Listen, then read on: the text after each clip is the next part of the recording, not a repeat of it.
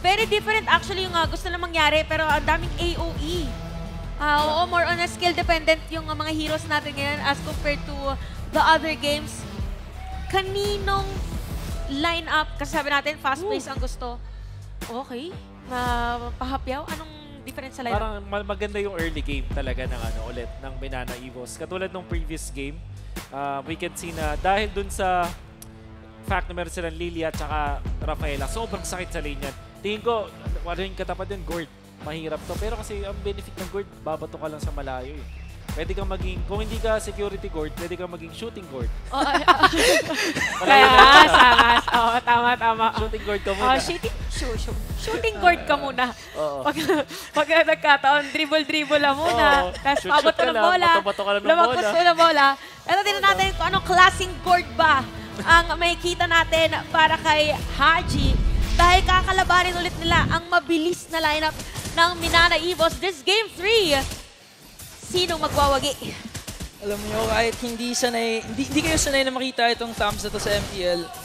Kami kasi ilang beses na ginamit to ni Lord JM. Sanay na, sanay na. Again, sa six win streak nila, six series win streak, isa to sa mga nagpanalo talaga sa kanila, eh, nag, at nagdala sa kanila to the top. Kaya nagulat ako nung nilabas to. So, important yung ginawa dito ng Blacklist. Sinabi natin, di ba, para mahirapan si Gord na tumapat dun sa Rafaela at Lilia dun sa may mid lane. So, instead, nagsimula siya dun sa XP. So, mag, Oo. papa-level 2 siya at yun na nga yung nangyari.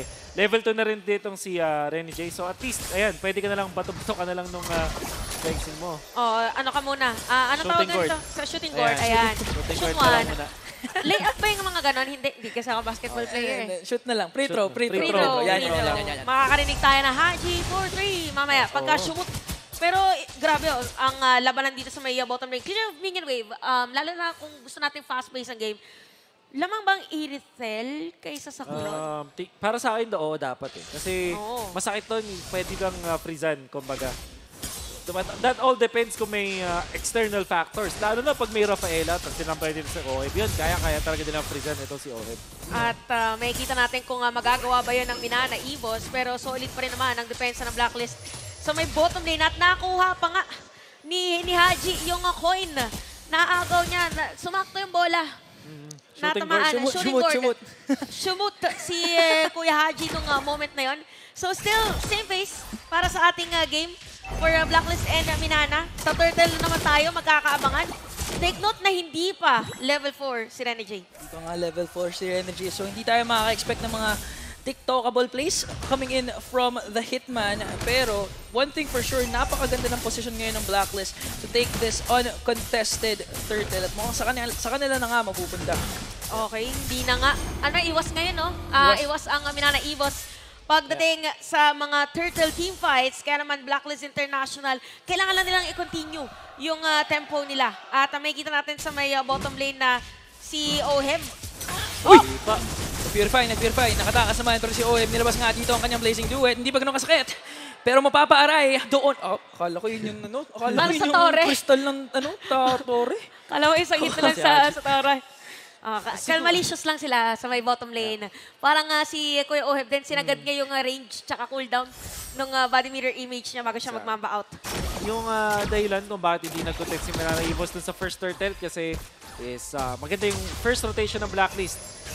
Yung benefit kasi ng pagkakaroon ng Cho na roamer is mabilis yung wave clear niya on its own. That's why pwede siyang iwan ng dalawang lane of minions. Kaya naman nag nagkaroon siya ng level 4. And although si Haji hindi siya na kasing same EXP nung kay Lancy, pares pa rin silang level 4 anyway. So parang walang masyado trade for Blacklist. At yung rotation nila, nagbigay sa kanila ng level 4 sa apat nilang heroes. Kaya naman, Minana Evos, di na lang lumaban dun sa, sa may turtle. NJ. Oh, bottom lane. Dito ni Kaizen. Siya nga ang minamataas, pero parang nakagawa pa ng TikTok play! Si Hitman! Dahil first blood will go to Sensui. Grabe yung pinakita doon ni Rene J. Akala ko siya na. yung mabibigyan pero siya pa yung namigay. Oo, para sumakto, may dumagdag na basketball player. Sinut. Oh, sinut, Sa oh. mga kakampi, parang alley play. Ali, wow! Yan. alley play pala So, ang yung- nais. Yeah, point guard ngayon si Rene J. At sakto kasi na, na force na niya yung Purify bago pa yung fight na yon doon sa ating uh, Iritel. Pero parang hindi pa tapos sa bottom lane, ha? Oh, si Kaysen nasipa na naman ni Hitman. Pero parang di ata mag-full commit ang Blacklist dahil nandito na naman si Lancy Oh. at si Spider Miles. Ina nilabas na nga yung Mystic Dash at parang ayaw nila tigil si Kaysen dito. Gagamit, oy! Naka-BMI out. And ang Sensui, isang decimation ka lang, ah, Kaysen! Grabe naman pinapakita ngayon ng blacklist. Akala natin ito na naman yung mga pokes. Hindi natin in-expect na i-go pala nila. Parang chinek nila na kung pwede ba nilang masecure yung kill. Pero kaya. Kaya naman yung makikita natin Blacklist International now in the lead in terms of gold. 1.7k. At na hindi hindi natin masyadong nakikita si Kuya Lord JM na part ng team fight. Yep. Kailangan niya kasi clear to. So, dito katulad ng Pakito, medyo walk trip kung sakali. Yung Pakito, at least uh, tumatakbo-takbo, may mga dash. Etong si uh, Tams, hindi ganun kabilis. By the way, sobrang crucial nung pag-BMI out ni OF na hindi siya tinamaan ng Blazer Strat.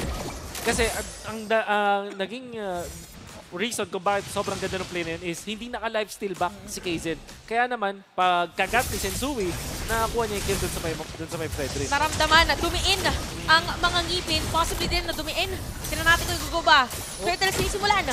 Nakabody slam doon si Lord JM pero limang miyembro ng Blacklist ang nandito ngayon and now Edward flicker and onward charge pati na Earth Shatter Mystic Gush will actually do the job to bring down Kaizen and now Blacklist 2 for 2 sa Turtle Ticks Sakto naman, 3-0 na rin ah, para sa ating laro. Tignan nyo, positioning. After kumuha ng turtle, dumiretso na rin doon sa mga pwede ding agawin. Against Pinana Evils, kaya naman tuloy-tuloy lang ang kanilang paglamang. And may kita natin ngayon, ultra fast na pagkakasira sa top lane. Parang sinasabi ngayon ng Blacklist, kung minana mabilis kayo kanina, mas mabilis kami ngayon. Kaya naman, every single time na merong opportunity to take down the neutral objective, gagawin nila at gagawin nila yun. Speaking of ultra fast, rapid boots ang uh, naging choice dito para sa ating Martis. Rock and roll to the world. Siyempre, para dito kay Sensui na dealt the most damage in this game. At gusto ko rin i-take note na mabilis nakuha ni Haji yung kanyang mga items. Yung Ice Queen win, one niya, 4 minutes, meron na. Up. Nag-retry na nga doon. Doon si Sensui on Spider Miles. And now, ang ganda ng knock-off coming in! Oh my goodness! Oheb! Bringing down Spider Miles and now Sumpak AR. Makakatakas ba kaya? But now, Blacklist focusing on that uh, bottom lane uh, turret at nakakuha pa sila ng isa. Kaizen will go down. Dalawa ngayon ang patay para sa ng Aminana Evos and Blacklist International 5-0. Ngayon sa ating laro, napakalaki ng kala- kanilang kalamangan at 6-minute game time, 4.8k. At ah, parang ang ah, items pa nito or ang ah, lamang na lead terms of gold is ah, nasa kamay ni Oheb. If I'm not mistaken. Correct. So, oh, Korik. Kurik. Kurik. Lamang, lamang ngayon si uh, Oheb ng uh, gold over Sumpak. That's a big problem. Yung ginawa din ni Oheb doon, parang sinargo niya yung Minana. Pero dinisperse niya para hindi makapwesto ng tama yung Minana Evos. And now, hindi pa rin natin nakikita si Lord JM na tumulong sa kanila. That's, apart from the turtle fight, eh, hindi pa natin nakikita yung thumbs in action. Whereas itong si Edward, activated na activated. Yung kills na nakakuha nila sa may bottom lane dahil yun kay Edward muli. Parang ah, nahihirapan ngayon ah, si eh, Kuya Lord JM dahil ah, dito sa naging ah, rotation na rin ng kanyang uh, kalane at makikita na natin na ay talagang ah, pressured na pressured Pinana Evos. Pero kinagandahan, late game-wise, yung ah, lineup nila ay papalag din ah, sa lineup ng ah, Blacklist but ah, still, ah, Turtle, all Turtle para sa ating laro mapupunta sa Blacklist. All objectives napunta sa black. Nakakuha pa sila ng Torres sa taas. At gusto ko lang balikan yung point ni Wolf pero dito muna tayo sa gitna dahil may, merong aksyon na nangyari. Lancy, hindi nakast ang black shoes kaya naman makakaisa si Legend Zero. Naku po, isang maganda makakasira din ng Torres sa may middle lane at mas pinabilis ba? Ginamit na rin yung conceal. Oh! Hitman! Isa-isang tinatanggal ang kanyang mga targets sa hit list. And now Kaizen is now down. Lord JM nandun pa rin sa taas. Mukhang may balak pa rin Minana kahit napaka-aggressive na ng blacklist. Speaking of plano na minana, ano bang kailangan nilang gawin para patayin ang laban? Wow, kuha sila ng pickups for sure. Gonna be difficult now kasi yung blacklist naka-ube, eh, remix na, naman sila dito eh. Uber na naman sila. Hindi na sila nag-iwa-hiwalay.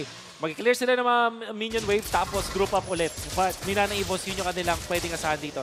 Now, meron ng Ice Queen 1 si Lilia. This could be proving to be critical. At ah, kapag sila naman yung nag-group up against Blacklist, eh, kakayanin nila kung sakali mga papag-rundown sila mga members. Else, nako, mahihirapan sila dito against Blacklist. O, tiis mo, pogi muna. Tiis pogi muna para dito sa Minana Evos at ah, kailangan nilang pa isa-isa. Pagdating sa teamfight, kailangan nila ng perfect na target sa susunod nilang Oh, uh, Oheb. initiation. Okay, si si Kuya Oheb ay ah, mainit. Ito na. Eto na. Napa-black shoes dun si ano ha? Si Lancy ha? Pwedeng pwedeng. Uy, pwede siya targetin. sa black. Oh, inauuhip. Ganun ang pasok. Wala nang black shoes. Doon si Lancy. Kaya naman yung Blazing Duet will bring him down. That's minus one for Minana Evos. And all throughout, wala pa rin si Lord JM sa clashes. Oo nga, nag, nag-clear ulit ng minion wave. Kaya gusto ko sabihin na yung uh, play na yun ni Oheb ay para mala space impact. uh, diniretso na niya agad uh, doon kay, kay Lancy ng uh, moment na yon. And ito pala, for, for Minana Evos, kaya nagiging struggle din is yung clearing ng minion wave, if I'm not mistaken, very different from Pakito to Tams. Oo, ma- mas ma- hindi, hindi siya katulad nung pakito. Yung pakito kasi di ba na buff yun na pwede mo na yung lahat ng ng matatamaan ng dash Oo. mo ay may damage na. The thumbs, kaya naman hindi na to meta hero ngayon kasi nabaw, nabawasan na yung clear speed niya. Kumpara dati na sobrang lakas mag-split push at may impact pa rin sa laban, it's not the, the same anymore. That's why Minana Evos, eh, yung thumbs na pick up nila ngayon, eh, nakikita na natin na hindi hindi ah, gana doon sa composition na gusto nilang gawin. And uh, speaking of, uh, kanyang katapat na rin na si Edward ay uh, nakabili na rin ng uh, blade armor dito sa laban. So, uh, kanya-kanyang uh, pwestuhan or man-to-man defense na probably ang makikita natin for a Blacklist Inter- Road to ano na talaga tayo, basketball team. Uh, may man-to-man defense na makikita natin. But the Lord will march in dito sa may top lane. Again, Minana. Uh, mabilis lang yata para sa kanilang tumipensa. Oh, na, uy, ang ganda ng stun doon. Ah, nakaisa pa nga! Grabe, si Lancy na naman na nahuli. And with that stun, hindi na naman nakast. Yung black shoes, hindi nakatakas doon si Lancy. Grabe si Kuya Haji, parang yung uh, yung bola niya yung uh, period sa exclamation point, yung ulti niya yung uh, guhit. Oo. Top lane ay masira na rin ng Blacklist International. Oh, eto na nga yung Lord, kumakatok na sa taas. Butas na ang base ng Minana Evos. Kumpletong kumpleto pa rin ang mga agents. And now on to the final objective, which is that bottom lane turret. Things are uh, not looking good para sa Minana Evos. At uh, parang uh, ano na si Kuya Haji sa Renegade? kanyang shift. Renegade! Up, up, up. Practice lang, practice, Practice lang. lang. Shooting lang, shooting lang. Um, disiplina pa rin para sa ng uh, Blacklist International. Gusto nang kuhanin dito is gonna be uh, the turret. So may kita natin ngayon para kay uh, Lord JM naman. As much as possible ay uh, ano na lang muna sila. Um, cut na minion wave. Oo. Or Di kaya. Ah, tingin ko, wala na. Magtitiis na lang din sila dito. And ang maganda naman kasi, pag isa na lang yung binedepensa mo, ah, pwede mong i-commit talaga lahat ng mga resources mo doon. So, siguro hindi wala muna silang karapatang mag-cut ng lanes, pero they can defend the lanes at least. And wait for the next uh, Lord. Tingin ko, uh, hintay na lang talaga sila na mag-equalize yung laban. Yung mga bandang 21 minutes. Pag napatagal nilang Minana Evos ng 21 minutes tong game na to, yun, mayroon sila ulit na chance. Ngayon, defense na talaga, Minana Evos. Kailangan ng mga fans ng Minana Evos sisigaw ng defense. Oh, defense. Oo, kasi ano na, last 4 minutes na. Oo. Kumbaga, ay hindi, 21 minutes medyo matagal pa pala. Matagal pa, pala. minutes, isang Nine quarter minutes. pa. Oo, isang quarter pa guys. Nas, dito muna tayo sa third quarter ng ating basketball game. Uh, but yeah, jokes aside for Minana Evos, um, kinagandaan sa lineup nila, sabi ni Wolf is uh, kailangan lang pahabain yung game. Mabilis sila mag-clear ng minion wave with Lilia. Kaya din pala tinatarget siya ni Haji agad. Ah, para walang def. Oo, para hindi maka-def. Oo, hindi Ah. makapag-def. Pero tinan natin kung anong uh, gagawin. So, bale parang dito, ah, offense is better than defense. Yun ba yung sinasabi nyo? Tama. Oh, kasi clear eh. K- kailangan nila si Lancy para maka-clear eh. Pero ang ginagawa ngayon ni Haji, burst down ka na yan para wala kayong maklear sa aming mga minions. Oh, ayun, yung ginagawa ni, ni Kuya Haji kasi parang uh, lalabas niya yung bola, yun yung period, tas exclamation point. parang yun yung warning sign. At hindi na nga magkakcontest, Blacklist International secured this Lord against Minana Evos. Napakalinis naman talaga ng galaw ng Blacklist Agents. I mean, 9-0, 13-minute mark, 12k gold lead. At kani isang neutral objective, hindi pa rin nakakakuha ang Manana Evos. Medyo mahirap 9-0. yata para dumepensa. Or maded kaya, defendable? Defendable, pero May titignan mana natin. kahanda ng mga gloom. Oh! Pero parang si Rene J, si Kaizen ang kanyang namataan. And now that's one down for Menana Evos. And now hindi pa nga nilalabas yung Blazing Do It. Ayun, nilabas na nga para maklear lahat. And now Blacklist Oh! Academy, pwede nila actually end ito. At napakasakit na nila dahil Blacklist ang magwawagi laban sa Menana. This winning moment is brought to you by our official sponsor, FW Life Insurance. Blacklist International with a very dominating finish against Minana Evos. Dumating sa point na walang kill yung kanilang ah, kalaban. Yeah, I think 10-0 ang... At ah, 10-0. Yes, that's exactly 10-0. Wow. Tapos, Sobrang linis ng play na ginawa din ng Blacklist. A- actually, nagulat ako kasi parang if ikaw yung minana, dapat nagkakumpiyansa ka na eh kasi ang ganda ng performance mo ng game number 2. But coming into game number 3, ibang klaseng beast yung nakita natin from Blacklist. Oh, feeling ko na for Minana, um, ah, somehow nag-overthink sila ah, from ah, game number 2. Kasi parang ah, biglang nilabas nila si si si Tams. yeah. Although they, there are other heroes na iba pang pwedeng gamitin, but probably it's part of their strategy. Alam mo yung ano, sa- sinasabi natin, pag may surprise pick ka, paisa-isa lang dapat. Huwag mo namang ilabas lahat. But they're heroes. May Iritel, may Lilia, may Rafaela, may Camps. Apat. Nakuha nila yung 100% na pick and ban rate na hero. And then four heroes na hindi natin nakikita na madalas. Oh, parang yung synergy